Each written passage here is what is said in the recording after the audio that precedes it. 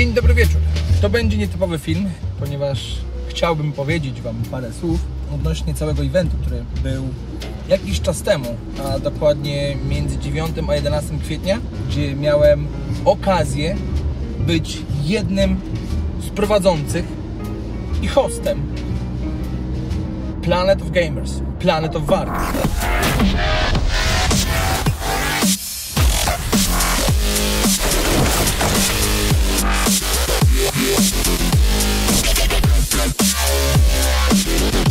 Śledzą moje social media, które znajdziecie gdzieś tutaj, wiedzą o tym, że wraz z Kingą Kujawską prowadziliśmy y, 11 kwietnia turniej dla streamerów, influencerów, gdzie y, brał udział Człowiek Warga, Pago, Fangotten, y, Gluhammer, Pirania, Lure, Kromka, Kuben.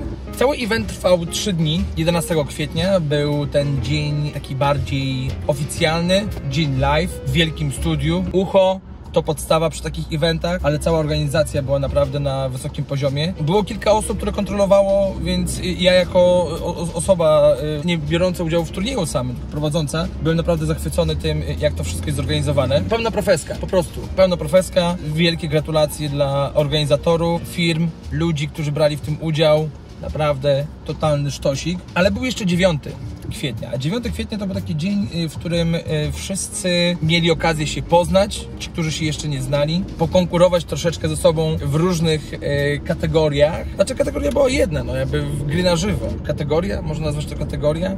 Nie wiem. Ale myślę, że tak. Polegało to na tym, że y, mieli samochodziki zdalnie sterowane, które jeździły po boisku, no i musieli po prostu trafić piłką do y, bramki. Ja wtedy byłem w roli sędziego. Wygrał Kuben oraz y, Kromka. Naprawdę było moc emocji, było sporo bramek samobójczych, troszeczkę jak Portugalia. Pago albo y, Człowiek Warga strzelił najwięcej samobójów. Później był również minigolf. I minigolf jest mega relaksacyjną w ogóle opcją. To jest mega przyjemna gierka, taka, żeby sobie po prostu pochodzić, e, popiwkować. 0% czy nie 0%. W ogóle e, tutaj też podziękuję bardzo za, em, za prezencik, bo wpadło e, bardzo dużo płynnej zupy, że tak powiem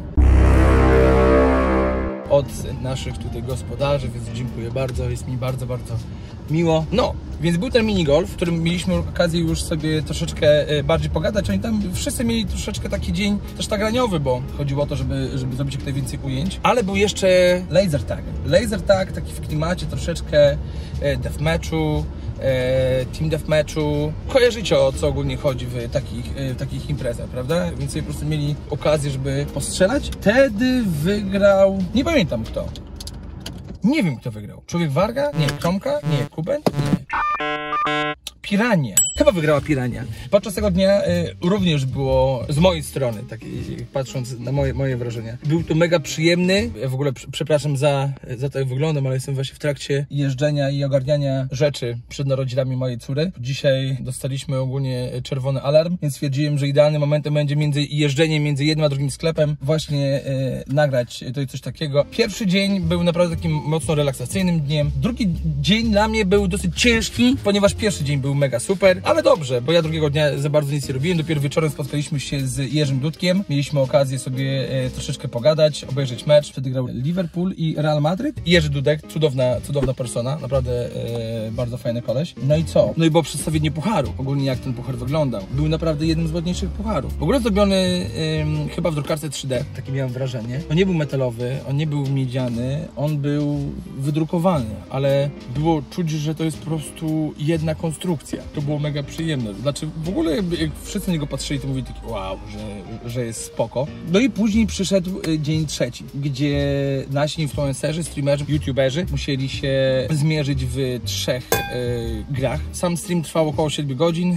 Ym, było troszeczkę problemów technicznych, ale to ym, tutaj akurat nie było problemu, ponieważ mieliśmy cudownych ludzi, którzy gadali, którzy komentowali i oni potrafili tą lukę gdzieś wypełnić, co było mega fenomenalne. I w sumie tyle. Dlaczego nagrywam ten film? Nagrywam ten film z dwóch powodów. Jeden to taki, że chciałem się z wami podzielić i w sumie dawno nie było żadnego filmu i podzielić się z tym, że brałem udział w takim, w takim wydarzeniu. A po drugie, mam nadzieję, że zostanę zaproszony na drugą edycję i że druga edycja będzie. I że jeżeli będzie druga edycja, to będzie ona z widownią. I że wy dowiecie się dzięki temu filmowi, że było coś takiego i będziecie brali udział w kolejnym takim wydarzeniu. Planet of Gamers. Tu mówiłem ja, nie da Radek. No i co? Życzę Wam wszystkiego dobrego. A ja lecę teraz do sklepu, e, bo żona cały czas pisze z kolejnymi rzeczami, które trzeba kupić. Cześć!